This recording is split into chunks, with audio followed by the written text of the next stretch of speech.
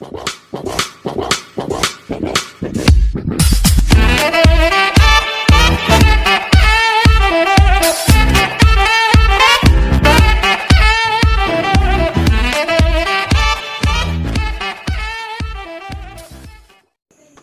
guys, welcome back to my channel at sa mga bagong dating, sana ma-enjoy nyo ang maikli kong video. Sa video ito ay pag-uusapan natin ang mga katangi ang nagpa-espesyal sa mga kalapati. Pero bago yan, samahan nyo muna ako saglit para asikasuhin ang aking mga kaalaga. Guys, first time ko magsusubo ng pampurga sa kalapati so pagpasensyahan nyo na kung medyo hindi talaga ako marunong. Wala talaga akong idea kung paano so pinanood ko lang siya sa mga video kaya ito. Two hours later. Dahil nahulog yung kalahati ng hammer, sasubo ko na lang tong isa pa. So sana maisubo ko na to na maayos. Ayun.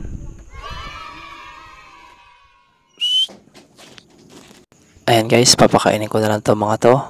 Dahil napurga ko na sila last time. So, kung mapapansin nyo, maliit lang yung love ko.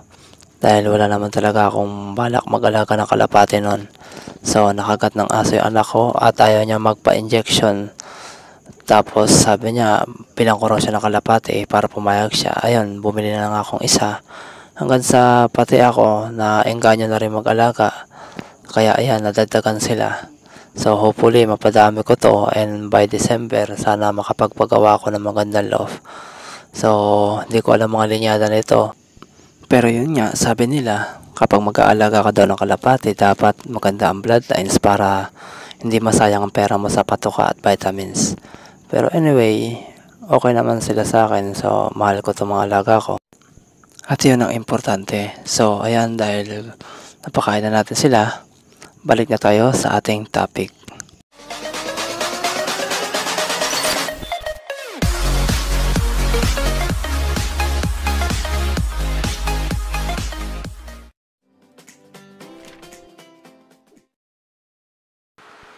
So, isa sa mga katangian ng kalapati o espesyal na katangian nila ay ang pagiging stress reliever. So, kahit kaninong kalapatero tayo magtanong o fanshear, kung bakit sila patuloy na nag-aalaga ng kalapati, walang duda, isa sa mga isasagot sa iyo ay nakakatanggal ito ng stress. So tunay nga namang nakakawala ng stress at pagod kapag makikita mo ang iyong maalaga. At yan ay isa lamang sa maraming katangiang nagpa-espesyal sa mga alaga nating kalapati. Next! Ang paglipad na mabilis ay isa sa pinaka-common at alam natin na kayang gawin ng mga kalapati. Sa katunayan, itong espesyal nilang katangian sapagkat kaya nilang lumipad ng 50 to 60 miles per hour. At ang pinamabilis na naitala na paglipad nila ay 90 miles per hour na hindi natin alam kung saan bansa at kung sinong panshare ang nagmamayari nito. At yan ang pa number 6 na espesyal na katangian ng mga kalapati. Next. Bukod sa mabilis na paglipad, ang isa sa pinaka-espesyal at nakamamanghang katangian ng mga kalapate ay ang kanilang homing instinct na kung saan kahit sa malayong lugar mo sila pakawalan ay magagawa nilang makabalik sa kanilang mga tahanan.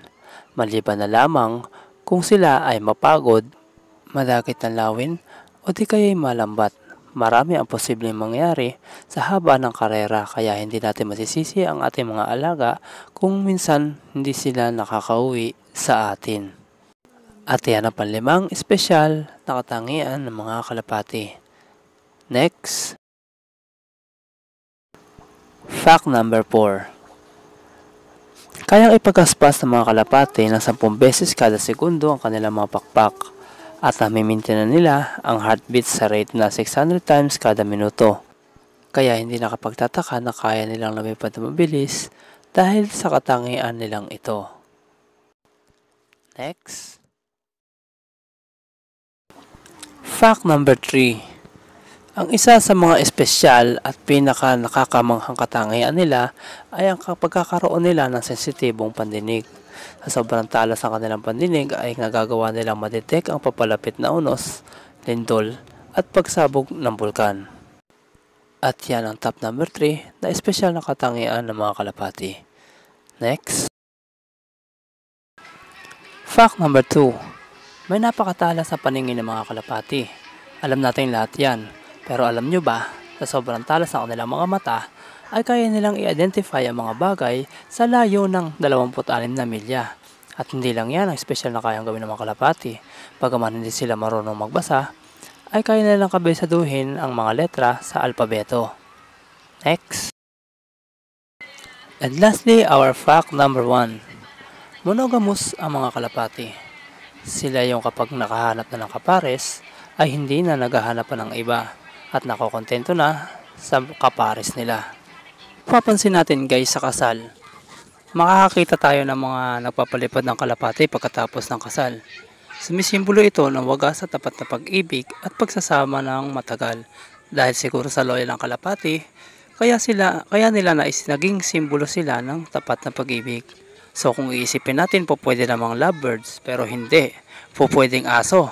Hindi ba't mas mabangis pa nga ang aso kapag ka nagdikit, mahihirapan ka ng paghiwalayin. Kahit buhusan mo ng tubig o lagyan ng asin, magkadikit pa din. Pero hindi pa rin dahil kalapate lang talaga ang loyal na pwedeng gawing simbolo ng pag-ibig. Hindi katulad ng ex mo, pinigay mo na lahat, pero iniwanan ka pa rin.